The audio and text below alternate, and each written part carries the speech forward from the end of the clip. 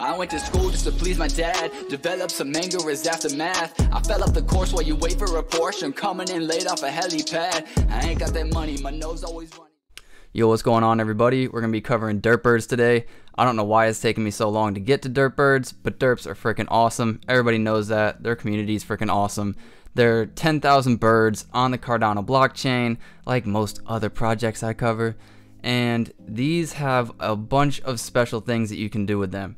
The first being incubate. So you would go to their website, you would sign in with your Discord, and then you enter the incubator after you sign up and connect your wallet.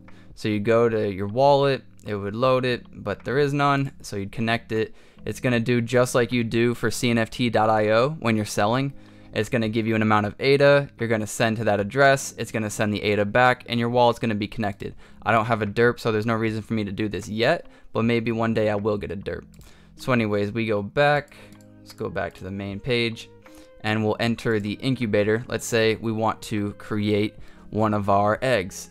So it's going to register a derp but I don't have one. And it tells you right now that only 15,000 eggs can ever be created, and only 7,500 of those eggs can actually be hatched, which they've already met that, so you cannot hatch any more. But you can still make more eggs. Uh, roughly 4,000 more eggs are available. You can only incubate once every seven days if you have a common or uncommon. Anything above that can only incubate once. So if you want to buy off of the aftermarket, you need to check and see either when your common or uncommon can incubate again, or you need to check if a rarity above that has already incubated, which you can do by going to their website.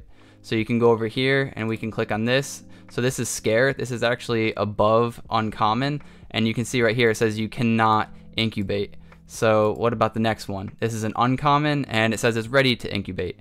So this is how you would check that. You'd have to go to cnft.io, look up one that you want to buy, and then go to this site and cross-reference it and just make sure that it's ready to incubate.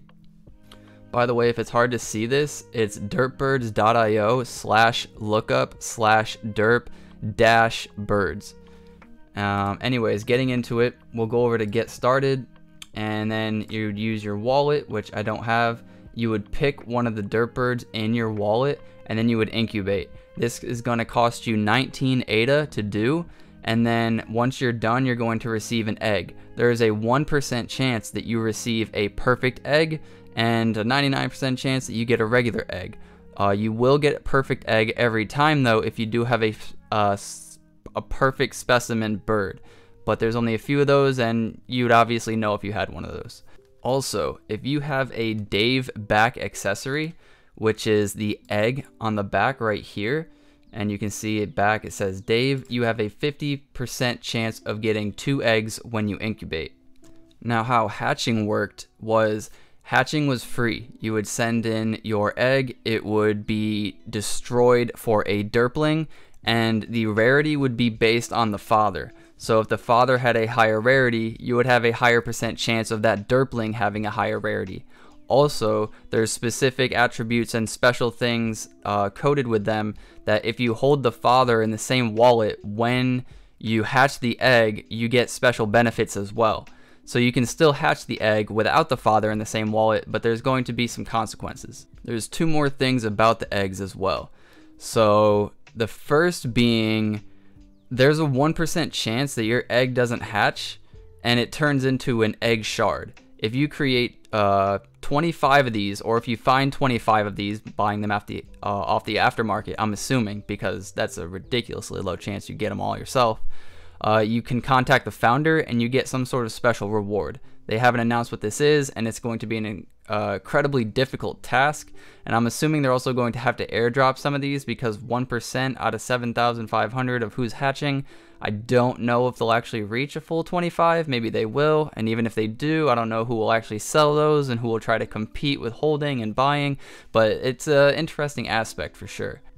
So once you had your eggs, you needed to wait two weeks for them before they could hatch. So once you incubate, you wait two weeks then you can hatch. And if you waited seven days, then you could incubate again, and you kind of get yourself on a schedule like that.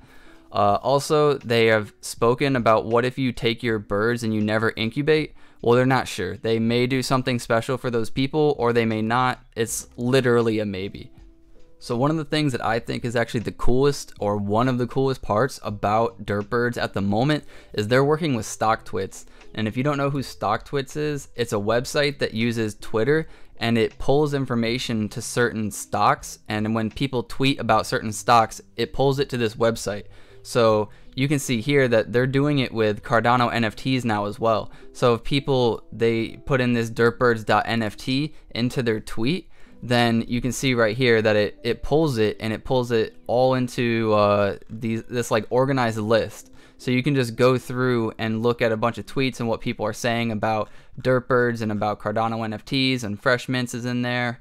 Uh, but most people use this for stocks and for crypto, but now they're getting into NFTs as well. So this platform is huge. A lot of people use this for trading. Uh, it's not financial advice at all. You shouldn't look at these things and be like, oh, wow, you know, Papa John's tweeted about DerpBirds. Like, I should go buy a DerpBird. But it's cool to see what the community's saying. So the last thing I want to mention about DerpBirds is they created a merch store and we'll go through that right now. It's uh, merch.derpbirds.io, and you can see some of their featured products here. They got a badge, a little sticker, you know, typical merch stuff. Uh, sticky buff heart. Sure. Um, so yeah, you can go around, you can look at stuff like this. I'm usually into the hoodies only. Those are definitely not guy hoodies. Is what it is. Maybe no. All right. Well, there's no guy hoodies, but uh, the last thing is they're having their announcement today for their furthering of their season one roadmap. So that's going to be pretty exciting. I was debating making this video and then releasing it after that so that I could do an update, but I think I'm just going to go ahead and release it here. Uh, I appreciate you guys for watching. I am going to be a part of uh, the the launch for the roadmap, so I'm going to be there. I'm going to be watching.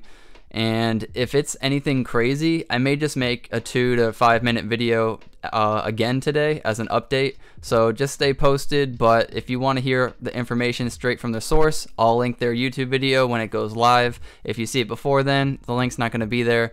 But um, yeah, appreciate you guys for watching. Get outside, see your family, see your friends. Have a good one.